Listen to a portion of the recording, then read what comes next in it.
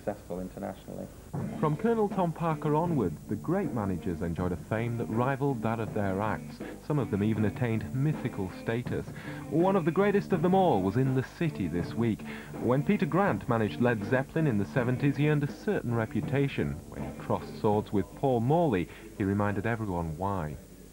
Anybody that is impeding the career of a band, or one of my bands, if they had to be trodden on, they were trodden on.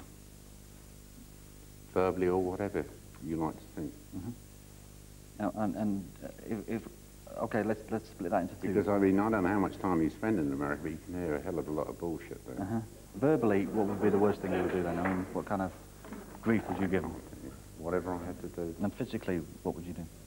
whatever I had to do. Is it true that you would hang certain people out of a hotel room 15 floors up from their heels? No. No. But, but it could be a first today.